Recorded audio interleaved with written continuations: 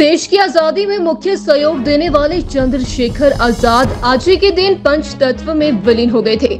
भारतीय स्वतंत्रता संग्राम के महानायक एवं लोकप्रिय स्वतंत्रता सेनानी चंद्रशेखर आज़ाद का जन्म 23 जुलाई 1906 को मध्य प्रदेश के झाबुआ ज़िले के भाबरा नामक स्थान पर हुआ था। चंद्रशेखर आज़ाद ने ब्रिटिश समाज के औपनिवेशक शासन के खिलाफ कड़ा संघर्ष किया था और आज ही के दिन 27 फरवरी 1931 को आज़ाद पंच तत्व में विलीन हो गए थे। अधिक जानकारी देते हुए कांग्रेस पार्टी के राज्य समन्वयक डेटा विश्लेषण विभाग के स्टेट कोऑर्डिनेटर मुकेश शर्मा ने चंद्रशेखर आज़ाद को भावपूर्ण श्रद्धांजलि दी। साथ ही बताया कि देश की आज़ादी में चंद्रशेखर आज़ाद ने मुख्य भूमिका निभाई थी और 15 वर्ष की उम्र में गांधी जी से प्रभावित होकर असहयोग आंदोलन में अपना मुख्य योगदान भी दिया था। आज ही के दिन चंद्रशेखर आज़ाद पंचतत्व में विलीन हो गए थे। देश की आज़ादी के लिए जब भी अपना बलिदान देने वाले क्रांतिकारियों के बारे में बात की जाती है तो चंद्रशेखर आज़ाद जी का नाम प्रमुखता से लिया जाता है।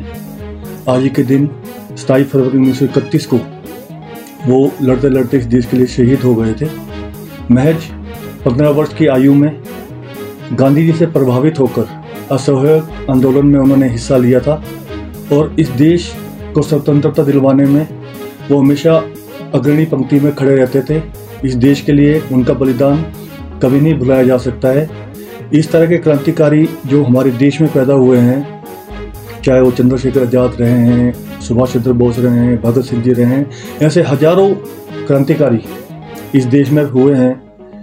ये जो हमारा देश है, इन्हीं क्रांतिकारियों की बदौलत आज स्वतंत्र हो पाया है। तो मैं आज के दिन इन महान नेता को, महान क्रांतिकारी को भावभीनी श्रद्धांजलि अर्पित करता हूँ। देश की आज़ादी में मुख्य सहयोग देने वाले चंद्रशेखर आज़ाद आज ही के दिन पंच तत्व में विलीन हो गए थे। भारतीय स्वतंत्रता संग्राम के महानायक एवं लोकप्रिय स्वतंत्रता सेनानी चंद्रशेखर आज़ाद का जन्म 23 जुलाई 1906 को मध्य प्रदेश के झाबुआ ज़िले के भाबरा नामक स्थान पर हुआ था।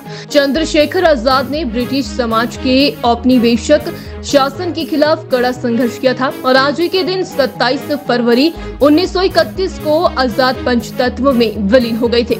अधिक जानकारी देते हुए कांग्रेस पार्टी के राज्य समन्वयक डेटा विश्लेषण विभाग के स्टेट कोऑर्डिनेटर मुकेश शर्मा ने चंद्रशेखर आज़ाद को भावपूर्ण श्रद्धांजलि दी। साथ ही बताया कि देश की आज़ादी में चंद्रशेखर आज़ाद ने मुख्य भूमिका निभाई थी और 15 वर्ष की उम्र में गांधी जी से प्रभावित होकर असहयोग आंदोलन में अपना मुख्य योगदान भी दिया था। आज ही के दिन चंद्रशेखर आज़ाद पंचतत्व में विलीन हो गए थे। देश की आज़ादी के लिए जब भी अपना बलिदान देने वाले क्रांतिकारियों के बारे में बात की जाती है तो चंद्रशेखर आज़ाद जी का नाम प्रमुखता से लिया जाता है। आज के दिन, सताईस फरवरी उन्नीस सौ इकतीस को, वो लड़ते लड़ते इस देश के लिए शहीद हो गए थे।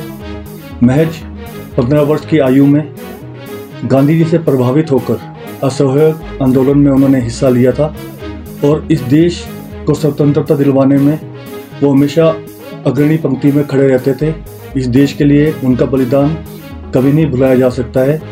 इस तरह के क्रांतिकारी जो हमारे देश में पैदा हुए हैं, चाहे वो चंद्रशेखर आज़ाद रहे हैं, सुभाष चंद्र बोस रहे हैं, भगत सिंह जी रहे हैं, ऐसे हज़ारों क्रांतिकारी इस देश में हुए हैं।